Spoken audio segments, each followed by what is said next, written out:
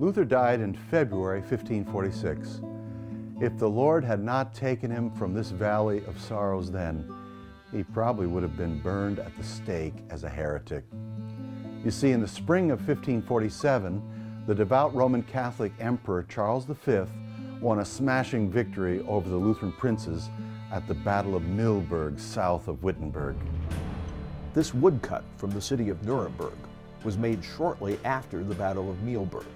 It shows a bird's eye view of Mühlberg and its environs, highlighting some of the most important people and locations in the battle that took place there on April 24, 1547.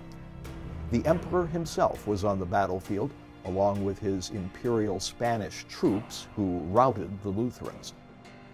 Now it was the spring of 1547, little more than a year after Luther died, and Emperor Charles had won his victory on the battlefield and was standing in the castle church in Wittenberg.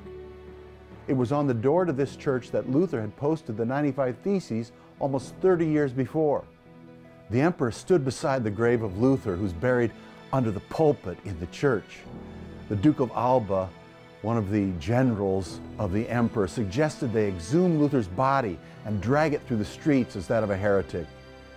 And Charles famously said, I wage war on the living, not against the dead, and left the building.